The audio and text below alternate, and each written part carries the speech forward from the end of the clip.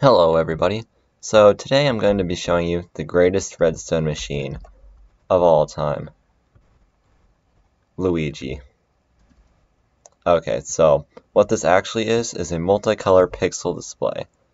So sadly it's not able to reach 100% coverage with pixels, like there's these spots of obsidian, but it's still a pretty good image we saw from Luigi. So um, basically how it works is you have three layers of sand and each one is a different image.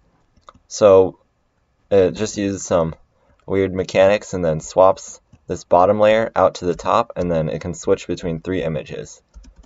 Uh, it's quite laggy so I'm going to have to show how it works in replay mod. Uh, and then after that I'll give a more detailed explanation of how it all works.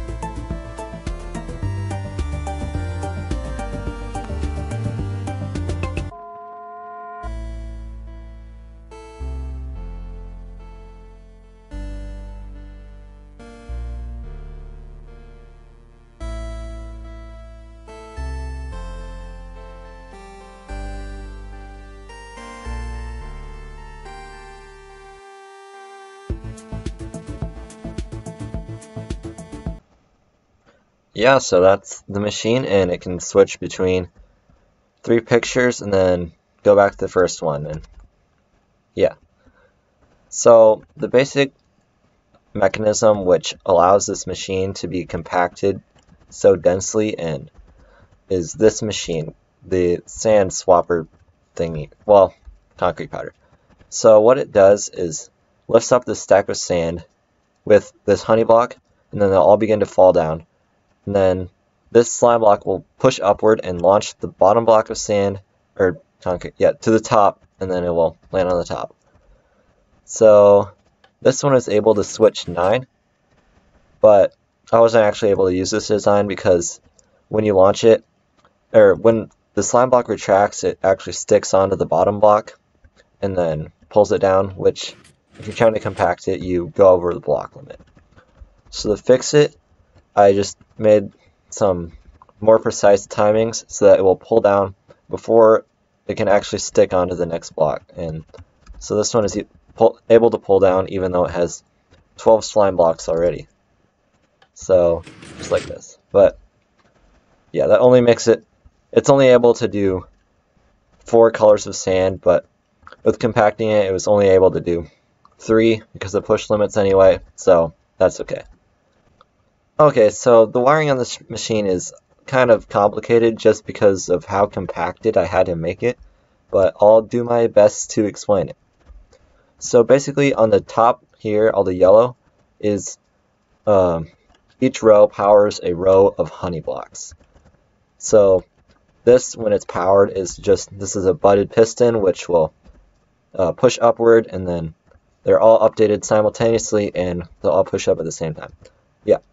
So this piston will push up these three redstone blocks. They'll go up here and then power some of these honey blocks.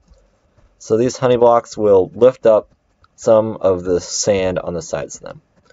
Right, so after those are activated with some delay, there's more instant row wires on the bottom here. So it's the same thing, just butted pistons, which will depower when there there's a block update. So this is just gonna, uh, I don't know, yeah, powering, here's the delay, and then it will push this redstone block up here, and push, and then this one will push up a whole section of slime blocks. So under each, beneath each segment of concrete powder, there is the same pattern of slime blocks. So the honey blocks will lift up this whole section and then after a little bit of delay, the slime blocks will push upward and then launch the bottom row up on top of it. So this machine, at first, some reason I was thinking I would just simultaneously power all of the honey blocks, lift them up, and then simultaneously power all of the uh, slime blocks. And then I realized that's li literally an, an industrial scale lag machine. So I decided not to go with that route.